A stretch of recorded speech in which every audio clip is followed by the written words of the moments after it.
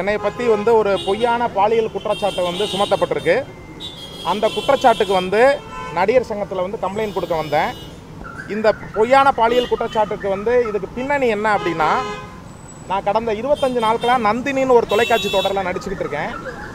அந்த தொடரில் ஒரு மெயின் வில்லன் பாத்திரம் பண்ணுறேன் எனக்கு துணையாக நடிக்கக்கூடிய ராணின்ற ஒரு பெண் நடிகை வந்து அவங்களுக்கும் எனக்கும் ஒரு காட்சியில் வந்து என்னை அடிக்கிற மாதிரி ஒரு சீனு அதில் அவங்க வந்து என்னை உண்மையாகவே அடித்தாங்க உண்மையை அடித்தோன்னே நான் பதட்டப்பட்டு ஏன் இந்த மாதிரி பிஹேவ் பண்ணுறீங்க அப்படின்னு கேட்டதுக்கு இயக்குனர் தான் அடிக்க சொன்னார் அப்படின்னு சொன்னாங்க.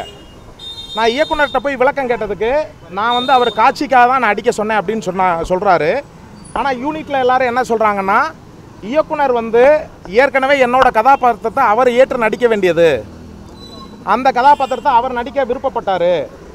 ஆனால் அந்த கதாபாத்திரத்தை சுந்தர் சி சார் ப்ரொடக்ஷன்லேருந்து எனக்கு கொடுத்துட்டாங்க. அதனால் அவர் மனசில் ஏதோ இதாகி இந்த இதை டிஸ்டர்ப் பண்ணுறதுக்காக இப்படி ஒரு விஷயத்தை பண்ணாருன்னு அவங்க எல்லாரும் யூனிட்டில் சொல்கிறாங்க ஆனால் எனக்கு வந்து இயக்குனரை வந்து குற்றம் சொல்கிறதுக்கு எனக்கு விருப்பம் இல்லை. அவர் ஏன்னா அவர் மேலே எனக்கு உண்மையாக பொய்யானது தெரியலை. இந்த அம்மா தான் என்னை நேரடியாக அடித்தது அதனால பதினொன்றாந்தேதி நைட் அது அடித்தது பன்னெண்டு பதிமூணு ஷூட்டிங்கில் வந்து ரெண்டு நாள் ஷூட்டிங்கில் நான் அந்த அம்மாவோட சேர்ந்து நடிக்க மாட்டேன்னு சொன்னேன். அதே மாதிரி காம்பினேஷன் ஷாட்ஸ் ரெண்டு பேரும் பேசிக்கிற ஷாட் எல்லாமே எனக்கு தனியாக எடுத்தாங்க அந்த அம்மாவுக்கு தனியாக எடுத்தாங்க. இப்படி ரெண்டு நாள் போச்சு. மூணாவது நாள் வந்து ரெட் ஹில்ஸில் ஒரு ஜவுளி ஸ்டோரில் ஒரே ஃப்ளோரில் வச்சு ஷூட்டிங் எடுத்தாங்க. ரெண்டு பேரும் சேர்ந்து நடிக்கிற மாதிரி சேர்ந்து நடிக்கிற மாதிரி இல்லை அவங்க நடிச்சுட்டு போகிறாங்க நான் பக்கத்தில் இருந்தேன். அப்போ அந்த அம்மா வந்து சிரிச்சுக்கிட்டு ஒரு மாதிரி கிண்டல் பண்ணுற மாதிரி போகவும் நான் போய் அந்த அம்மாட்ட வந்து விளக்கம் கேட்குறேன் இவ்வளவு நடந்ததுக்கு அப்புறமும் அடிச்சுட்டு நீ வந்து கூலாக இருக்கியே அப்படின்னு. அப்போ அந்த அந்த இதில் வாக்குவாதமாகி கைகலப்பாயிருச்சு அவங்க கணவர் இருந்தார் பக்கத்தில் அந்த அம்மாவும் இருந்தாங்க கைகலப்பாயிருச்சு. கைகலப்பானோடனே உடனே அவங்க வந்து ஸ்டேஷன் காவல் நிலையத்துக்கு எம்ஃபோர் ஸ்டேஷனுக்கு போனாங்க. போய் அங்கே போய் குற்றச்சாட்டு கொடுத்தாங்க. குற்றச்சாட்டு கொடுத்தோன்னே நான் என்னையும் இயக்குனரையும் அவங்க வந்து ஸ்டேஷன்லேருந்து கூட்டிகிட்டு போனாங்க.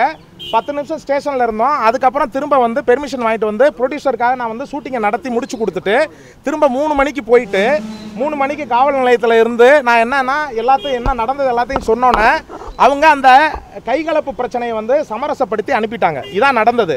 அந்த அம்மா என்ன பண்ணிருச்சுன்னா காலையிலையும் சரி மீடியாவிலையும் சரி அபாண்டமாக என்கிட்ட என் மேலே வந்து பாலியல் குற்றச்சாட்டு. அது வந்து நான் வந்து வீடு இங்கே இருக்கிறப்பே வந்து ஹோட்டலில் தங்குறேன் அப்படின்னு. வீடு எனக்கு கேளம்பாக்கத்தில் இருக்கு.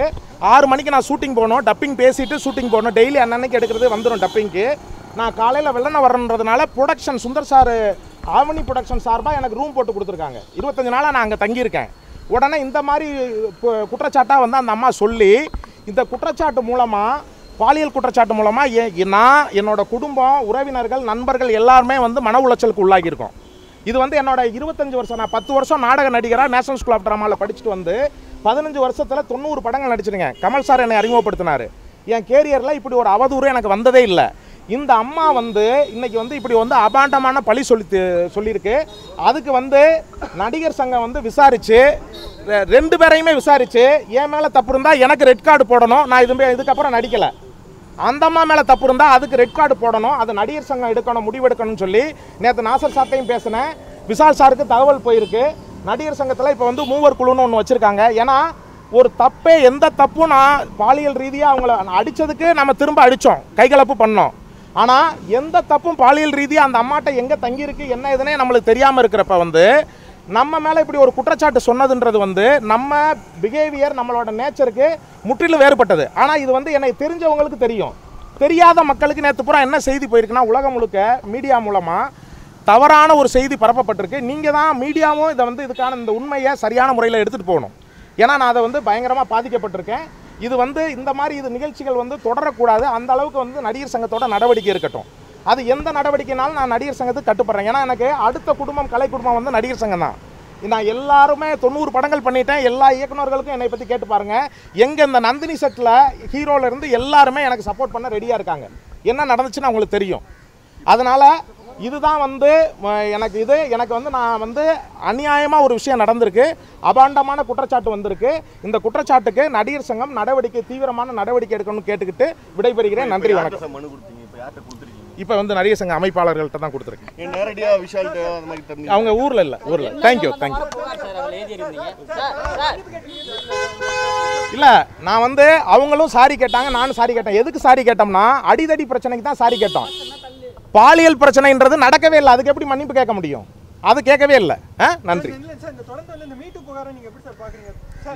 ஏங்க நியாயமாக வந்து பாதிக்கப்பட்டவங்க ஒரு பெண் வந்து புகார் கொடுக்குறாங்கன்னா அதுக்கு சட்டப்படி நடவடிக்கை எடுக்கணும். மீட்டு இயக்கத்தை நான் ஆதரிக்கிறேன். ஆனால் அபாண்டமாக பழி சுமத்தப்பட்டிருக்கேன் நான் அதுக்கு வந்து அப்படி சுமத்தப்பட்டவங்க வந்து பாதிக்கப்படணும். அதை வந்து நடிகர் சங்கம் பார்த்துக்குவோம். நன்றி.